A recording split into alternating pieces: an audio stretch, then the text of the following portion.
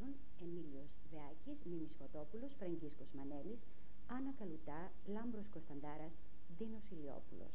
Σκηνοθεσία Ηλίας Παρασκευάς.